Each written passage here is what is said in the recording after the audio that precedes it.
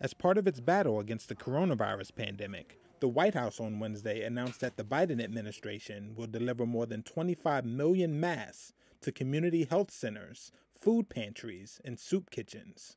COVID 19 response coordinator Jeff Zients. These masks will be available at more than 1,300 community health centers and at 60,000 food pantries nationwide.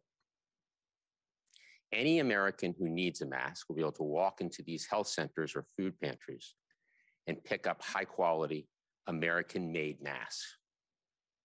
These masks will be available at no cost. They'll be well fitting cloth masks available in children's and adult sizes, and they can be washed for reuse. All consistent with CDC guidance and all made in the USA. U.S. health authorities recommend mask wearing as a critical measure to help slow the spread of the disease. And the White House said many low income Americans still don't have access.